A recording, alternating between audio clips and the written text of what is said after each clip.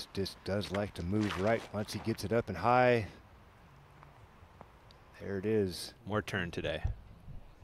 Cannot unravel too fast. If it does, it does go out of bounds. And what a bomb from Double Oh, G. my. Got every bit of that. Goodness. Well over 550 feet from Double G there. Just a chip shot onto the green now.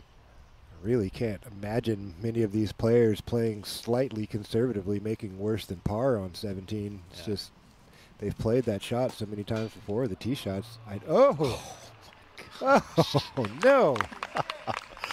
Sexton almost skipping in the eagle after the errant tee shot even. Somehow he got a line out there Yeah. on the right side, punched through the trees far enough to give him a look, and almost made some magic happen from the fairway. Almost put his disc in the basket. Let's check out a replay of that. Oh yeah, he had all kinds of space to work with. Little Firebird, skipper, oh. almost one hop in the chains. Whew, The Young Bucks back in the day were putting it out there, but just so many more of them doing it. Why? Wysocki on 12. Oh my. Oh, wow. Gannon Buhr. Ah, Gannon Buhr.